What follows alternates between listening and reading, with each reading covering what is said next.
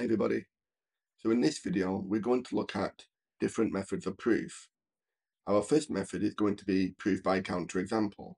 And when we prove by counterexample, we need to show one example that does not work for the statement. And one example is sufficient.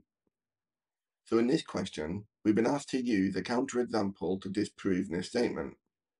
Now for any pair of integers x and y, if x is greater than y, then x squared plus x must be greater than y squared plus y. So we begin by choosing a value of x and y that satisfy this statement. So let's say that x is equal to 2 and y is equal to 1. And using these values, we know that x is greater than y. So now we'll substitute these values into our second statement. So we've got 2 squared plus 2, which is 6, is greater than the 1 squared plus 1, which is 2.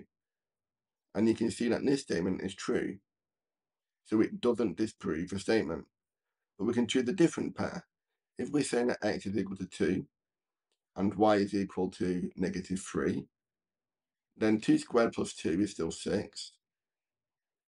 And y squared plus negative 3, so minus 3, becomes 6 is not greater than itself. So in this example, disproves the statement. And as with any proof, we need a final written statement as our conclusion.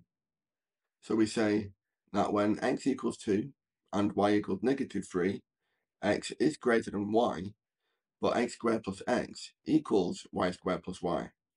Therefore, disproving the statement that x squared plus x is greater than y squared plus y for all pairs of integers x and y. Okay, let's try another example. So in this question, we're told Dominic believes that for every positive integer n, at least one of 2 to the n minus 1 and 2 to the n plus 1 is prime. We've been asked to use a counterexample to prove that Dominic is wrong.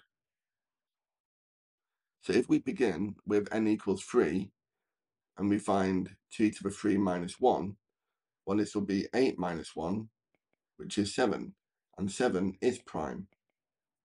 So we don't need to try 2n plus 1, as we know this one satisfies the statement.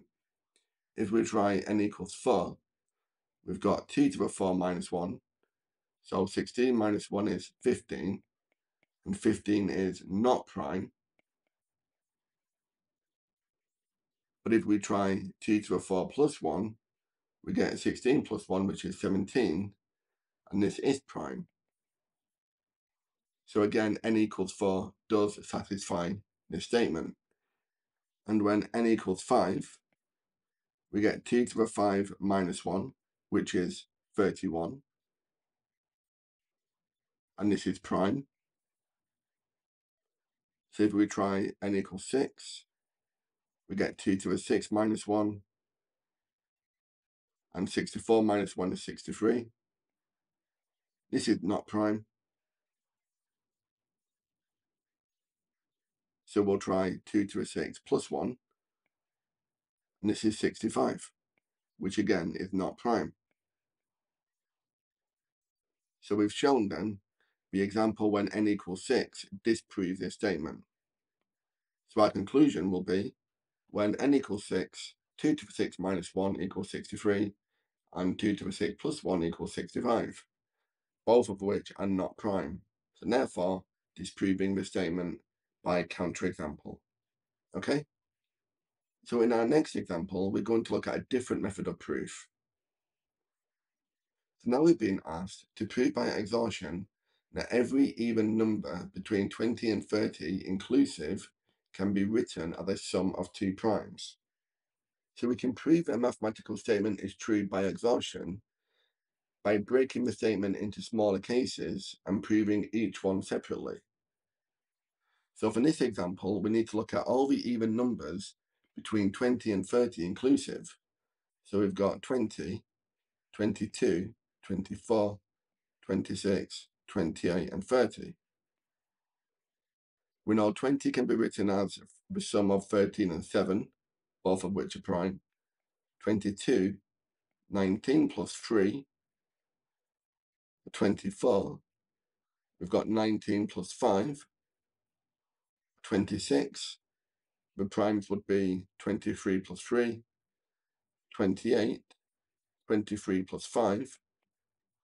And for 30, we could have 23 plus 7.